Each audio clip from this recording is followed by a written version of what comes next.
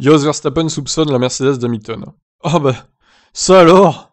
Étonnant Jos Verstappen, le père de Max, ne comprend pas comment Hamilton a pu afficher une si grande vitesse de pointe en course au Brésil. Je n'ai jamais expérimenté une telle différence de vitesse d'une course à l'autre, dans toute ma vie. Évidemment, vous pouvez affiner votre nouveau moteur, mais est-ce qu'un Mercedes 9 se dégrade vraiment après deux ou trois courses comme on le dit? Je ne peux pas l'imaginer.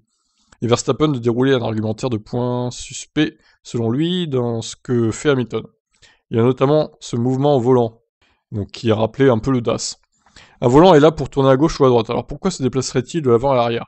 On peut voir que quelque chose se passe. Après la course au Brésil, nous avons vu également Hamilton se faire remettre quelque chose par son entraîneur, puis retourner dans le cockpit. Je suis très curieux de savoir ce que c'est.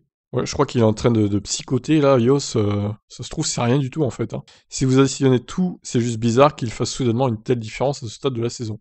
Il me semble vraiment qu'ils font quelque chose qui n'est pas autorisé. Je ne, veux, je ne veux pas perdre, mais il faut que ce soit juste.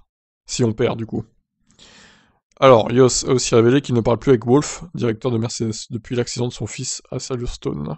Nous n'avons pas parlé depuis. C'est vrai, Nature est apparue cette année. Nous n'avons plus aucun contact l'un avec l'autre. Ah bah, j'espère pour lui que son fils n'ira jamais chez Mercedes, du coup. Enfin, à moins que Wolf prenne sa retraite à un moment donné et qu'il soit remplacé, du coup, là, ça, ça rouvrira la porte de chez Mercedes, j'imagine. Mais bon, tant que Wolf sera là, euh, Verstappen n'ira pas chez Mercedes, même si Hamilton prend sa retraite, c'est clair. Hein. Bon, après, Wolf, peut-être qu'il partira en même temps qu'Hamilton. À voir. Le père du leader du championnat du monde s'inquiète de voir le retour en forme de Mercedes, et le craint notamment pour ce week-end au Qatar. Bien sûr, j'ai peur de Mercedes en ce moment. Max le voit aussi, bien sûr. Il est fataliste, et et dit la seule chose que je peux faire est de conduire le mieux possible. Max tire le maximum de chaque week-end et il va faire de même pour les trois dernières courses, mais les règles doivent être les mêmes pour tout le monde et tout le monde doit les suivre. Néanmoins, Max a encore toutes ses chances car il a 14 points d'avance pour une bonne raison. Amen.